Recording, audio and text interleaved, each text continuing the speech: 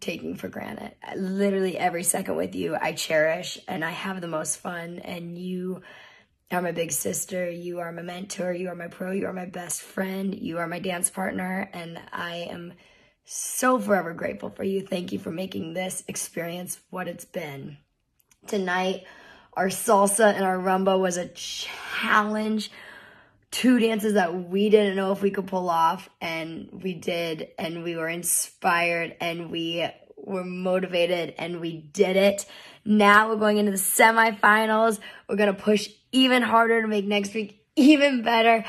I don't know how it's possible, but I'm sure I'm going to have more fun next week than I did this week, which seems bananas in my brain, but I'm sure it's going to happen because it's happened every week. But seriously, this week has just been the best. You guys are the best. I am so thankful. I I don't even have words to explain how thankful I am. And I just love you all. I feel really lucky.